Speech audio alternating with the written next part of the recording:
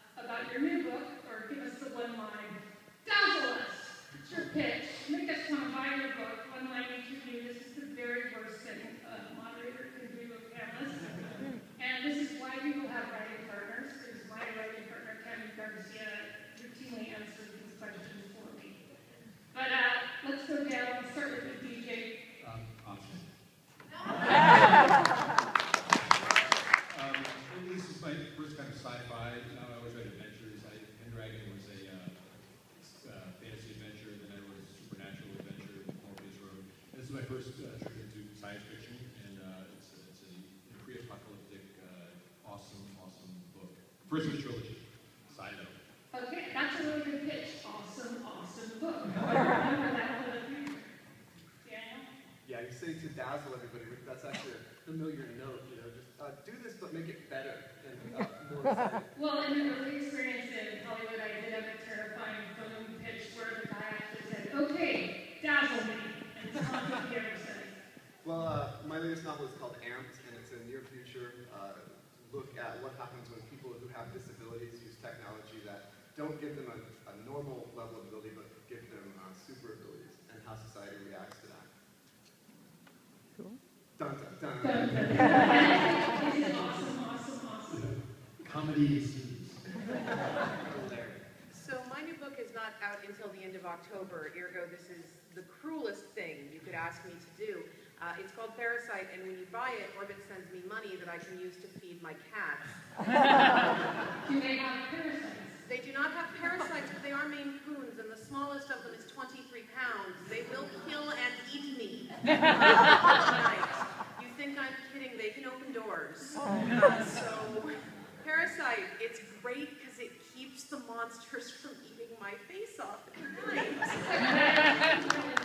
Yeah. Isn't that actually what people want? Like that To would, see the face. that, that would be a great book. If my face gets eaten off, the sequel doesn't actually get finished. But, but think, but think about the incredible, like, promotional opportunities. Maine Coon cats ate my face. You could come in over house, making it your face. You guys collaborate. They would cast Tara Reid as me in that because it would be a lifetime original movie. It'd be some four hours, you know, sharks and cats. Catnado. Sharknado. Pitch your book, David. All right, I'm on this panel. Okay, so, uh, my name is David Wellington. Uh, I'm most famous for my horror novels. I wrote, uh, Zombies, Vampires, Werewolves, uh, Monster Island, 13 Bullets, Frostbite. Uh, and then my dad, who is a huge fan, but he always said he didn't like the supernatural stuff. He kept telling me no elves. There are no elves in any of my books, but he doesn't like elves that much. Uh, so I wrote, I said, okay, I'll write you a spy book, I'll write you a thriller. So it's Chimera. It's on sale early just for Comic Con. If you do not buy a copy today, you will have to wait until Tuesday.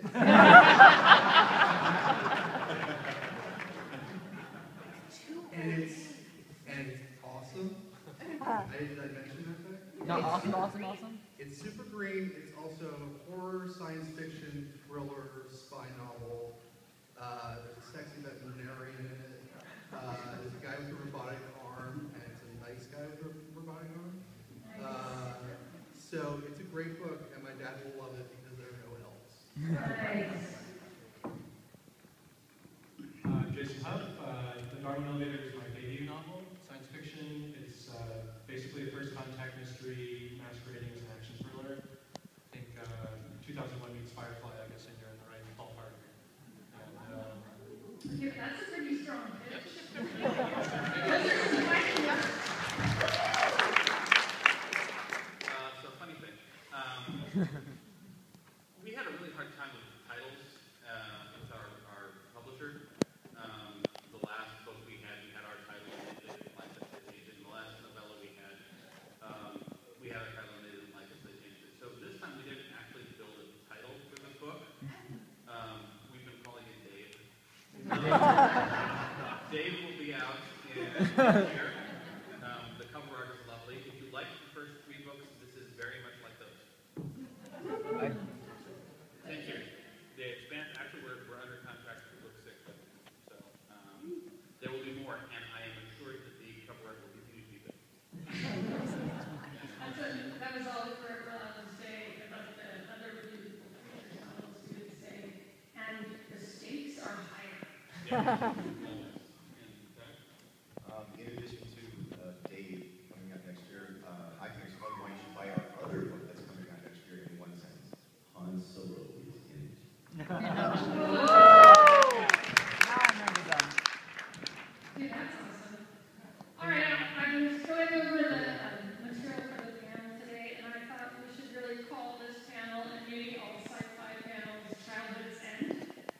Because this is a grim room, my friends. You should be afraid.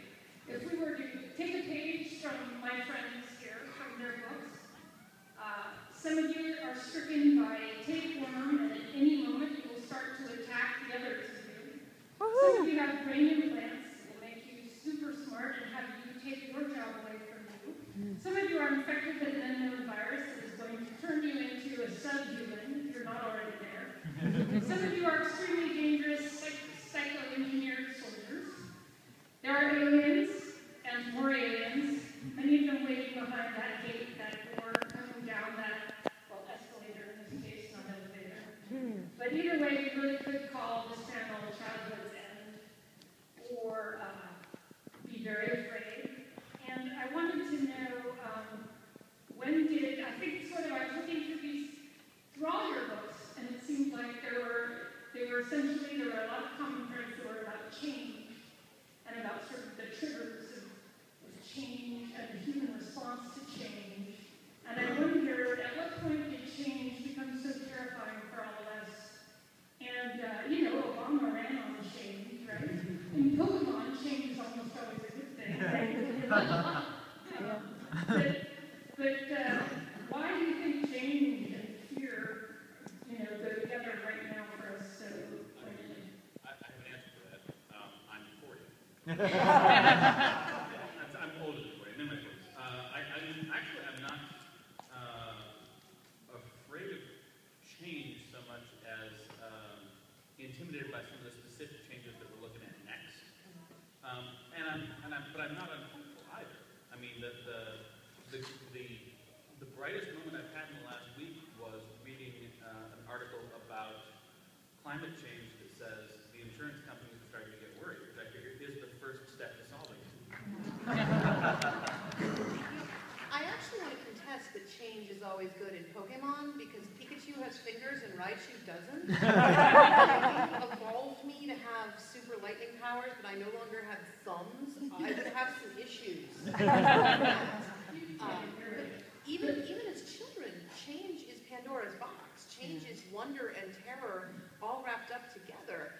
The first thing you do when your environment changes is scream because what is this air crap and why is it filling your lungs? We, we are afraid of change and delighted by change and enchanted by change from the moment that we enter this world. And one of the great passions we have as humans is complaining about things that have changed. You know, uh, I, I remember you could simply walk into Hall H. All you kids get off my lawn, uh, is, is complaining about change and being terrified of change. Oh my God, did you hear about Mrs. O'Leary in the third grade? I hear she beats kids. I want to stay where I am. I think that with writing science fiction, especially, change is manifested as technology, and so that's what we're really writing about, is this onslaught of technology, technological change that we're always facing in our day-to-day lives. And there's always some new stupid thing to figure out. It never stays the same long enough to, to get really great at it. And I actually wrote an op-ed piece for the Wall Street Journal with the title, something along the lines of, uh, technology is not getting more complicated, you're just getting old. You know, if you look at the, you know, Piaget, like the actual mechanics of how people uh, model the, their environment, how they figure out how the world works, you, you do figure out your models and then you apply them to the next, uh, the next new technological changes. Sometimes applying that doesn't work, which is why my grandma has a cell phone with all the phone numbers taped to the outside of it. Because she's got this Rolodex model and this telephone model, and she's combining them to suit this cell phone model, and it doesn't work. And yeah, I think complaining about it becomes the, the great pastime. Yeah. I, I, I, uh, I wonder if maybe we're so afraid uh, of that, that, that things are not going to change. Uh, I think that that's a big worry on a lot of people's minds right now, is that things are going to stay exactly like they are in 2013 forever. Uh, right, you know, we're living in the future. Most of us feel that. I, maybe if you're under 18, you don't get it yet, but you will. We've got robots patrolling the skies, and they can kill any of us. Yeah, just let me know who you want, because I'll make a. You know, the government, the government is reading all of your email right now, not just the juicy stuff, but all of your email. This is the world we're living in, and it's terrifying. And I think a lot of us are worried that it's not going to change. It's going to stay like this forever, and we're all going to say, oh God, oh God, what if they come back? What if they blow up another building? What if, you know, there's another war? What are we going to do? Change at this point would be Star Trek. Change would be somebody invents the replicator, or somebody invents teleportation, or somebody invents something, fusion power,